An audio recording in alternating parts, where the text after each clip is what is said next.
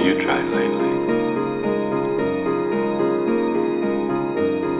That's a start. That's good. Because here you can do anything you want. No matter how crazy